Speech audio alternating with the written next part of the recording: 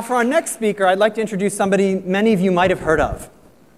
Uh, his name is Gopi Kallayil. and he works in Mountain View at Google, uh, and he's in charge of social for brands. Uh, Gopi, welcome to the stage. Gopi Kallayil.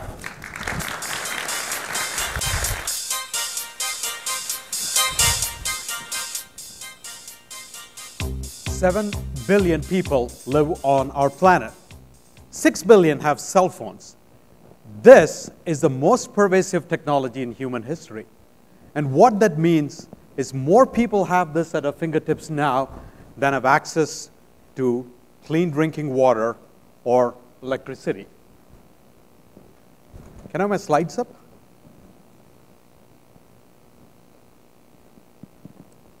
So I had a moment of epiphany about this six months ago when I was standing in a small rice farming village in southern India called Chitlanjeri. Now, Chitlanjeri is a very soft spot in my heart because this is my home village. This is where my grandparents lived as poor rice farmers and where my parents grew up without electricity or running water. When I was young, Chitlanjeri had three telephones for this entire village of 20,000 people with two digit numbers. And back then, I thought I was a child prodigy because I carried the entire phone book for a village of 20,000 people in my head. And I still do 31, 32, 33. Six months ago, my parents and my siblings, we were all back in the village for a ceremony in the village temple. And as I was walking down these paddy fields, I couldn't help but notice that half the village had this amazing little organ that had sprouted at the end of the fingertips. And standing there, it struck me that any of these villages could pull out this little device, punch in 15 numbers, and be having a conversation with each of you. Six billion people on the planet now are just one phone call away from each other. Geography and location is not a barrier. Even language is not a barrier because these devices can translate for you as well. But it's not just that you can speak to each other. What is interesting to me is that this device allows these 6 billion people to capture a slice of your life as it happens in front of you through photo or through video and be instantly be able to share that with your friends, your family, with others who may share the same interests, with your entire social network.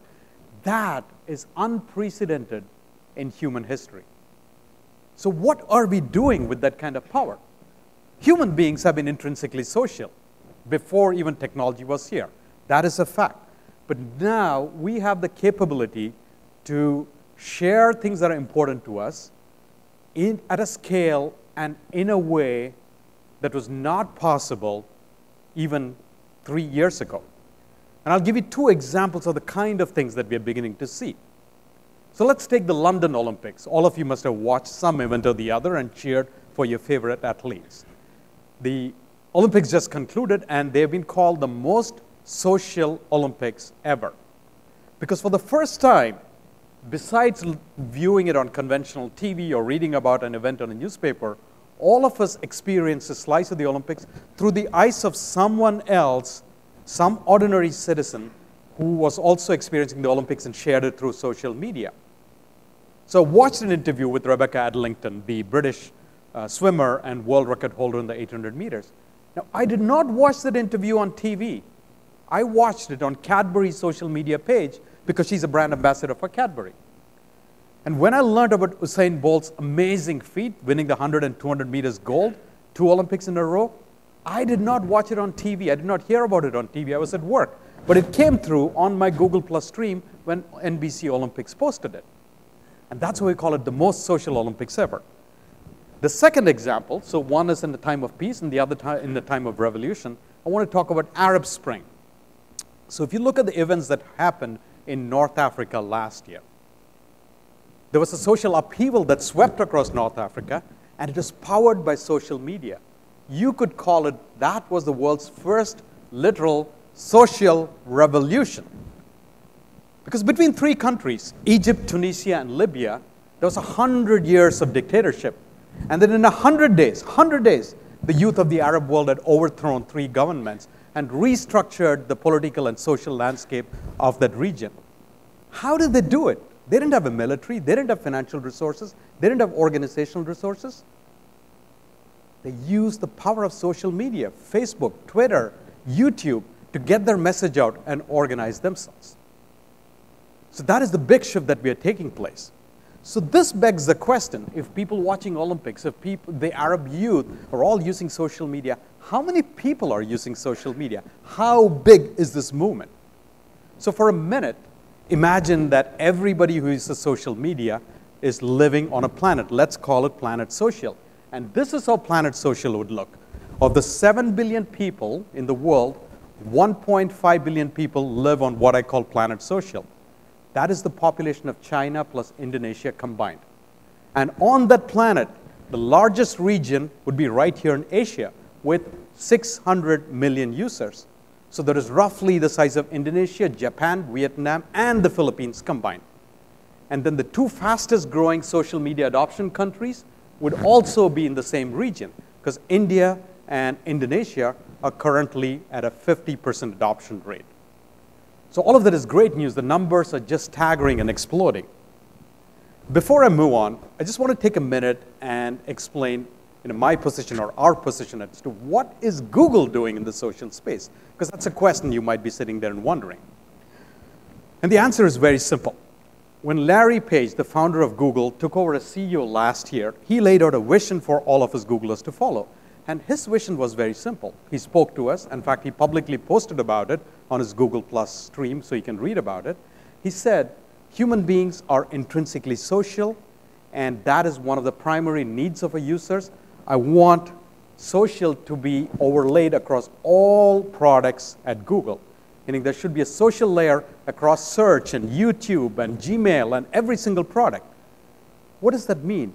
What that means is when you use a Google product or service, you will get an experience that is uniquely customized to you based on your social network or your interest graph.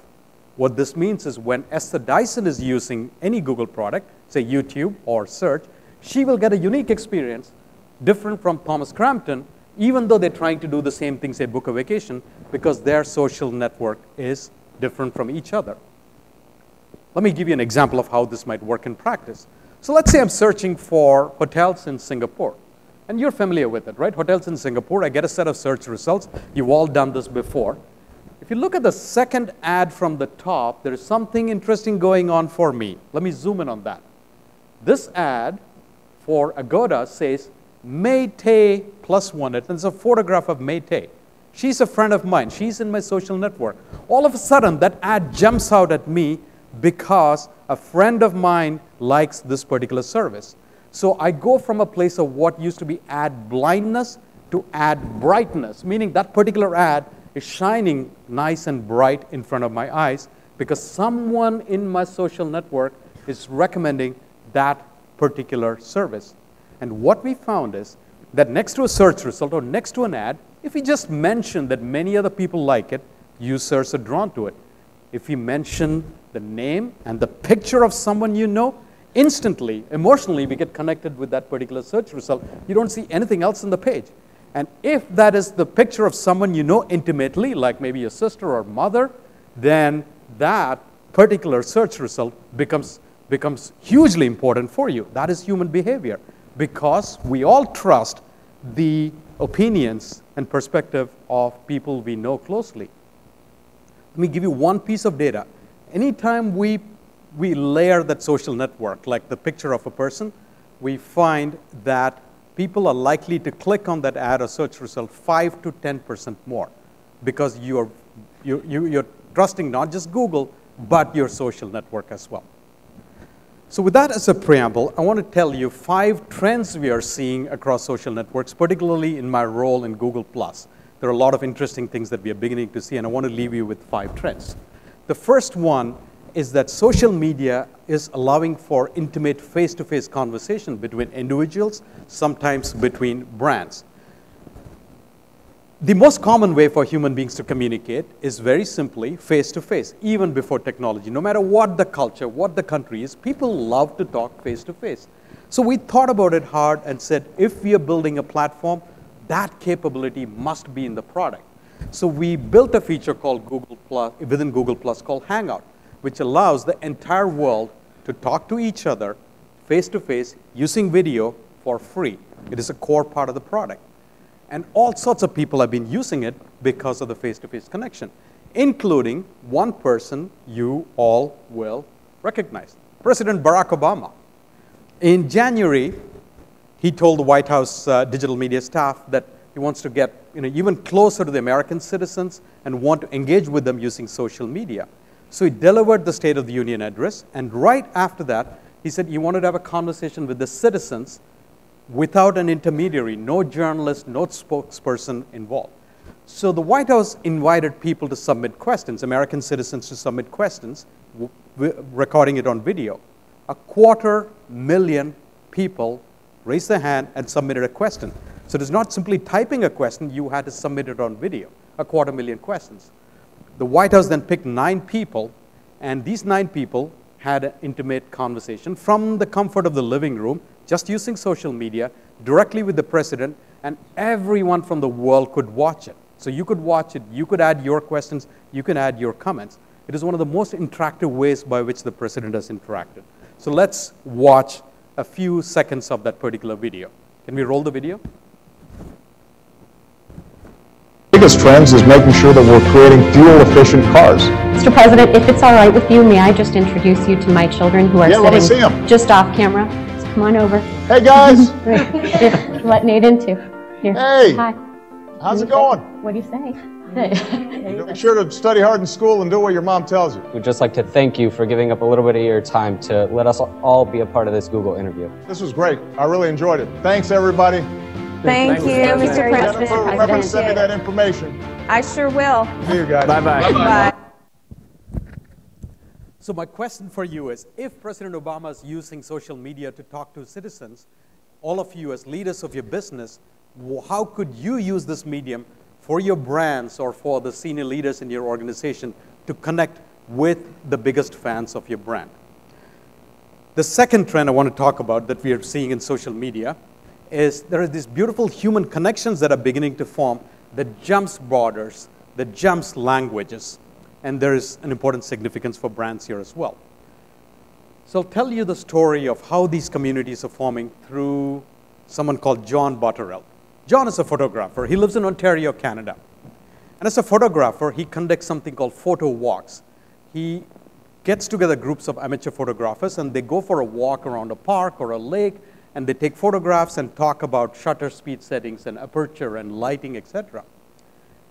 But to participate in a photo walk, you need three things an interest in photography, you need to be able to walk, and you need to be there with John Butterill in that park or location.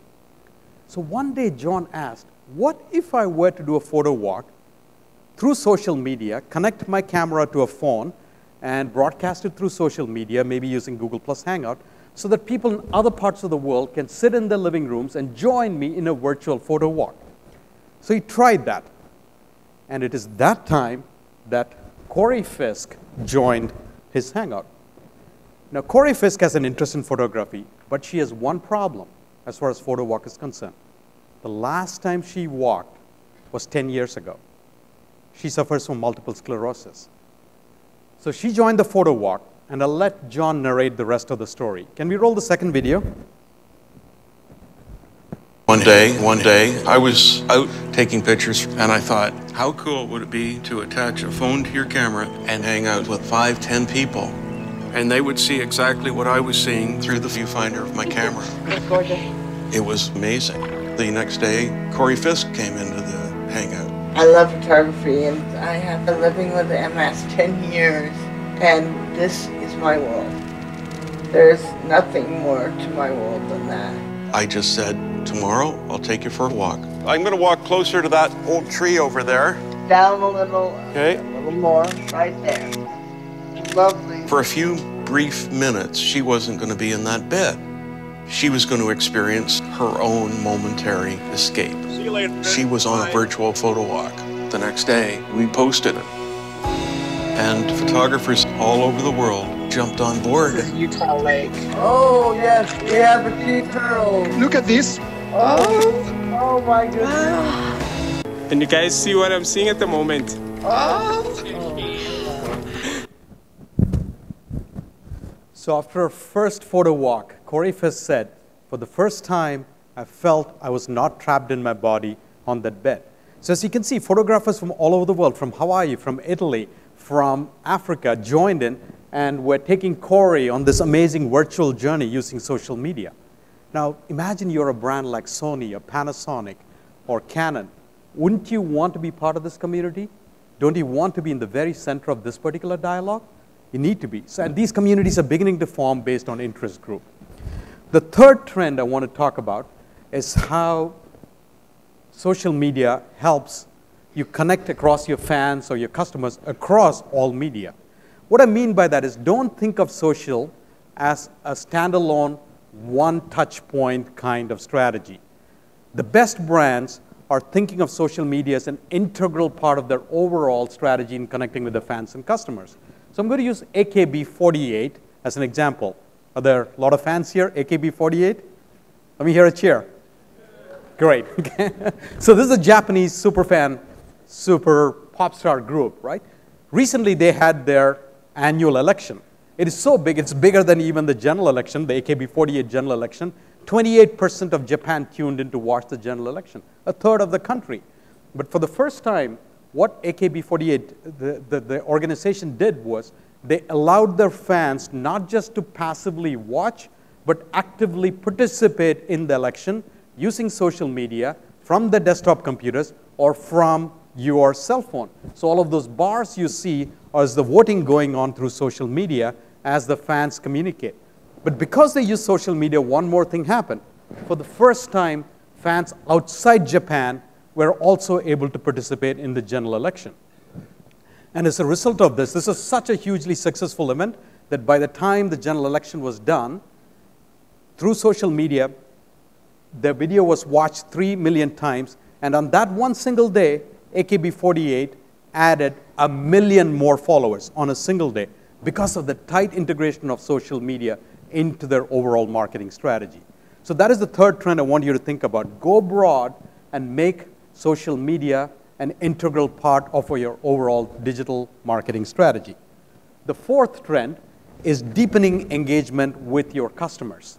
Okay? Because social media allows you to go a little more deeper into your customer's life and share their passions with you. And I'm going to use Toyota as an example. Toyota has 1.3 million followers on Google+. Think about the number for a minute. These are 1.3 million people who raised their hand and said, Toyota, we love your brand. We want to hear from you on a regular basis. And that's something we all dream about, for customers to come and tell us that. And the reason Toyota is so successful in accumulating 1.3 million followers is the kind of content they put out there and share with the followers. An example of this is this event that they did, uh, a hangout with this gentleman there. He's a designer of their new concept car. So that is Koichi Makino, and he's the chief engineer of the FTB uh, 48 concept car, which has designed a light car that runs 112 miles on a gallon of gas. So he did a Google Plus Hangout where he asked Toyota fans to join in, and you can see them at the bottom. And they had a live conversation directly with the engineers, asking them questions about the technology and giving their feedback about the product itself. And because of this kind of content, every single day, Toyota is adding another 4,000 people to their followers. And they're finding it a great way to engage. In fact, the most recent post, I took a look. As soon as they posted it, about more than 300 billion 300 people reshared it. What that means is 300 people took what Toyota said and then pushed it out to their friends and family. They're amplifying Toyota's message. So if you're a marketing manager for Toyota or your brand, wouldn't you like to know who these people are who are talking about your brand, who are free ambassadors for your brand? That is the dream of marketers everywhere, and it was impossible till a few years ago to really have visibility into that information. But now, through social media, you have incredible visibility, and that is the fifth trend to get insights into who are your biggest brand ambassadors, what are they saying. So let me use Toyota as an example for that. So Toyota posted about another concept car called the Camatte. So this concept car they posted, If you see on the bottom right, you can't read it, there's a circle that says 241. It's not clear on the screen. That means 241 people took this message, took this picture, and pushed it out to their friends and family. Do we know who they are? Sure, social media gives you that scale. This picture is something called Google Plus Ripples, which we built into the product, allows you to see who are the people who then you know, ripple the message across the internet. And not only does that tell you, it tells you the name of the person. So in that, if you look at the top circle, that is Lucy Garcia. So you know Lucy Garcia is one of the biggest ambassadors for your brand because that circle around Lucy, that is big, which means she has 300, 400 friends. Every time she puts a message about Toyota, 300, 400 of her friends are picking it up. And if you see that Lucy is actually interacting with every one of your messages, you know that she's your super fan and you want to send her a gift basket. You want to have a direct personal relationship. So, as a digital marketing person, this kind of visibility was not available even like six or eight months ago. It puts amazing amount of power into the hands of brands to know who your brand ambassadors are. I want to wrap this up then with my final message for you, which is very, very simple at the end of this. And this is a message I want you to think about through the course of this particular day as different speakers come up here. And the message is simple your children, if you have them, are on social, your customers are on social, your competitors are on social. The only question that is left then is are you and your brand on social? And if you're not, you have two choices. Two choices. Either you continue to sit it out, in which case you completely miss out the dialogue, like what's happening I showed you in the photographer community, and you become irrelevant in the marketplace.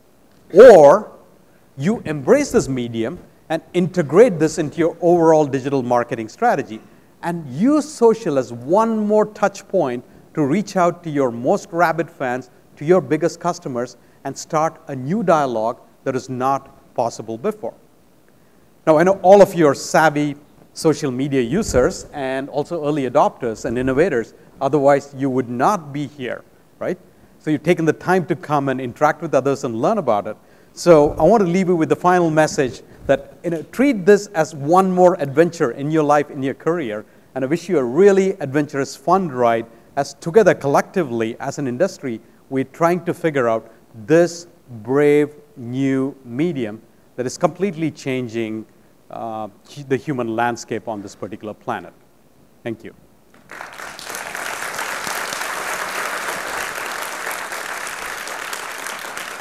Thank you very much.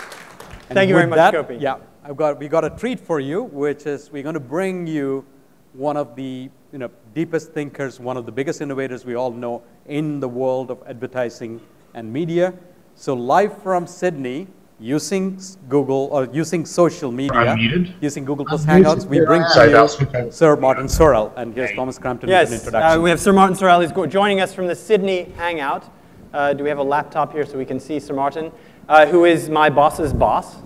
Uh, so be nice. uh, and uh, uh, he's uh, uh, in Sydney and going to be speaking with us. Uh, He's here, Thomas. yeah. well, we got the, the live here. Okay, great. Let's go live to the camera here. Ah, good morning, Sydney. That's Thomas. I recognise Thomas. Hello, Thomas. How are you? Uh, I'm with Gopi Kallayil from uh, Google, and we have just a few questions for you. We've got about 500 delegates here uh, from across the Asia Pacific region. Uh, everybody's here interested I, in I, social be, media. I, I, be, I believe you, Thomas. I, Actually, there's 1,500. I, I, can't, I can't see them. I've got no idea whether they're there. Might be just the cleaning lady in there. So we have a few questions for you. Gopi's just given a very good presentation about looking at social from the, the broad perspective, how it's changing uh, humanity, the way people are living their lives. And Gopi, following on that, maybe you have a, a follow-up or so. Sure. It's, So- it's going to be down. It's going to be downhill from that from now on. So, Sir Martin Sorrell, there's an important question I've pondered about. Actually, most of the audience has pondered about all night. I've been dying to ask you first thing this morning. And that question is which of the characters in the TV series Mad Men is your favorite? Well, okay, smarty pants. I mean, I, I did, I did get I did get forewarning about this question, and and I I went through the normal. I mean, you you would obviously say Don Draper. The one the one I actually like best, or or sort of best, as I'll explain in a second, is the owner of the agency, the ex-owner of the agency, the one who has the the Japanese fetish. I can't remember his name. Um, and, and the one the one who does you know walks around without his shoes. He's still alive. He looks like a sort of smaller version of Burl Ives. Uh, but, but the character I really love is the Red Setter. Uh, you may remember there was the Red Setter that the Yeah. guy who deserted to McCann's had. Uh, and it made a brief appearance in one of the, uh, one of the uh, episodes. And that's the character I really love because I have a Red Setter called Savage uh, because he isn't. Uh, and and he's, he's my favorite character. Fantastic. Well, thank okay, you. well, thank you, not Gopi, for that information that I'm sure our audience Yeah. at Social Media Matters is, uh, was waiting on the edge of their seat to find out. so Sir Martin Sorrell likes the guy who wears slippers. Uh, Thomas said no more questions for Gopi because he wants to ask the intelligent questions. Go ahead, Thomas. Um, just, you know, we've heard a lot about changing human relationships. What, what have you seen in terms of social media changing the way that, that businesses are, are working uh, and maybe some of the, the many business leaders that you're meeting uh, in your travels around the world? Well, I, I think the initial reaction, Thomas, was uh, they were petrified because because uh, business leaders have managed to be surrounded by by their staff, particularly of larger companies. They've managed to insulate themselves, or think they've managed to insulate themselves from from customers, from people inside their organizations. Um, but I, I think the initial reactions were one of fear, and uh, obviously because it's new technology, and most of them tend to be older and not geeks or technologically savvy, they, they in, instinctively, the Pavlovian reaction was one of uh, concern uh, and fear. Uh, and of course, the immediacy of it all, um, you know, it's, it's uh, to say it's it's a bit trite to say everything moves at light speed, but they were not used to dealing with things rapidly. I mean, inherently, bureaucracies do not like to move at light speed or quickly. Uh, lawyers, particularly when you get into legal issues, you know, you take crisis issues, the lawyers have control, and CEOs are prohibited for legal reasons of res- responding. So I think the initial reaction, if you went back a few years ago, was one of fear, unwillingness to embrace. Uh, bureaucracies and advisors kept people away. I, I was thinking actually, uh, as we were sitting here, um, just preparing for the session, you know, what is the thing that made um, business leaders embrace social more rapidly than anything else? I mean, clearly, some of the crises that they saw, you know, if you were in China and you saw what happened in China to most, if not all, of our multinational clients, they've all had uh, crises to deal with. But, you know, you've seen that in other parts of the world too. You look at the banking crises in America, you look at uh, what BP had to go through with the Gulf. All of these things have made people, I think, more responsive. But I think the biggest issue, and you and I, Thomas, have spent time on this, is the sort of thing we see at the political end. I think Obama's 2008 uh, political campaign probably had the biggest impact on on business leaders when they saw two things. Firstly, Obama used uh, digital in an extremely effective way uh, politically to mobilize uh, ethnic groups, to mobilize youth, uh, particularly in terms of campaign workers. And then the thing that we were heavily involved in, which was uh, his social campaign for contributions, where, he, if you remember, he had that, well, you know, he had that very broad spread of contributions, small amounts per head. And you see, we, you know, we're doing it again uh, this year for uh, the second campaign, and it's very different with Romney. Romney has, I think it's an average of $1,400 per head, whereas Obama is at about $43 per head. so it's, uh, it's much broader with Obama than it was last time because he's lost support with some categories, but will, he will still raise a billion dollars from private contribution. Uh, so I think actually the use in the political area uh, has actually been the most impactful. And when what's interesting about business leaders is when they see political leaders building campaigns uh, in that way, they get influenced more. And after all, uh, crisis campaigns, as you well know, Gopi knows too, uh, political campaigns uh, mirror what you see in commercial campaigns. And some of the crisis situations, any brand things, are all about similar, have similar elements. So, sort of wrapping up the, the, the, the hangout, unfortunately, we're such packed day here. Um, next year, we're planning to have you here, of course, in person. Uh, the uh, piece of advice that you would give to a business leader about social, what is, what is the one piece of advice you'd give them?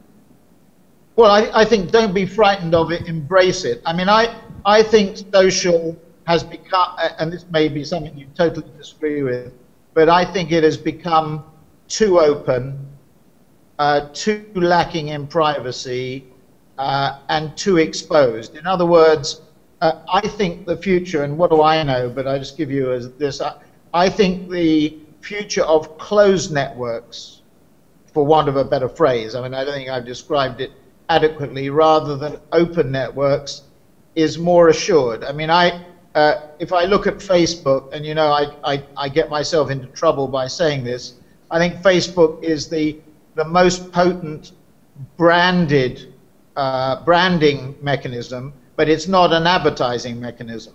And you know our relationship with Google, which has become so important, and now rivals our biggest relationship with any legacy media owner, has five legs to it. It has search, display, video, social, and last but not least, mobile. And we haven't made enough uh, penetration of mobile. I hope Google's acquisition of Motorola Mobility will focus people's attention on the potential of mobile. But um, I, I, just think the advice would be embrace. Uh, I worry about the privacy issue, not for the reason I just said, but just because consumers are and regulators are increasingly concerned about it. But I do think it has become too open. Uh, you know, there are privacy issues. There are all sorts of issues that parents worry about, for example, in relation to what their kids are doing or not doing.